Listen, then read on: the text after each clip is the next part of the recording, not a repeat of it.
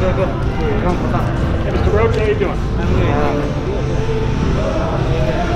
Good. Good. Good. Yeah. You makes me nervous. How you doing? Yeah, good to see you, to see you Okay, you take care. Bless Thank you. Okay. Hey, Freddie. After, after, after we accomplish this, we gotta get together too because you were part, you were part of this too for four years. Thank you very much. You ready, Jose? Ready? Yeah. Yeah, it's gonna be a good one.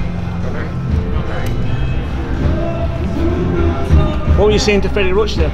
Oh, you know, he was he's been a he was uh, he's been a part of my development, you know, as a fighter. So I was with him for four years, uh, with Marvin, uh, Freddie. So you know, I told him after I get this done, you know, he should be, he should, you know, he should feel that he was a part of, a part of this whole thing, you know, this whole journey. Um, I met Freddie back early in the Olympics, and he really liked my work ethic, and uh, you know, and I made the, trans- the transition to go to Robert Garcia, you know, but it's never been a, any any hard feelings between me and and, and uh, the Boxing Gym. So, you know, I, respect everything he did for me and uh, everything I learned at the Wild Wildcard Boxing Gym. So, it's all it's, it's all friendly. Talk to about Josh Taylor then. Is this the toughest test for you today? Yeah, on paper, definitely. You know, my, uh, he's undefeated.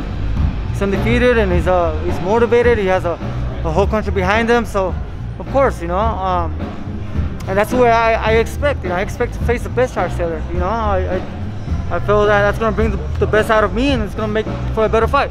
You think this is going under the radar a little bit? I mean, this is an undisputed world title fight between two undefeated champions in their prime. I mean, this should be. Of, of course, man. You know, You you know? know, if you ask me, of course, you know, but it's something for you guys to say. You know, it's, what- it's what, what, what do you guys think about this? You know, it's, you, guys, you, guys, you guys should be making those comments. You know, my job is to just be grateful for the opportunity and go out there and do my job. You know, uh, I'm focused, I'm composed, and uh, you know, I'm just happy Top Rank made it happen. Uh, MTK management made it, you know, made it happen with. Uh, uh, you know, with Josh Taylor coming in and, and, and working with Jack Catterall to move aside, you know, because Jack Catterall was, you know, he's been next for the WBO. Um, and I wasn't really aware of that until I beat Hooker, and then I realized, okay, he comes with a, a mandatory, right? Yeah. But I had Victor Postol, and then I had Jack Catterall.